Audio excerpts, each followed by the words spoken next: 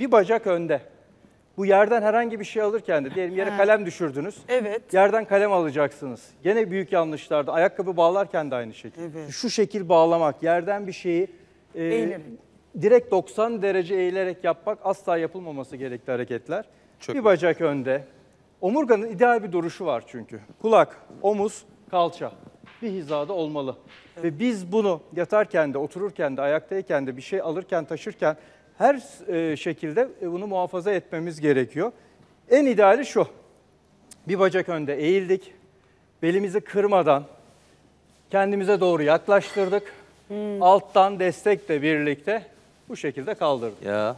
İşte Peki türlü bilmiyoruz. Allah korusun. Ondan sonra da belimizi Mesela- sakatladık. İşte kilo kaldırmak sakıncalı mı?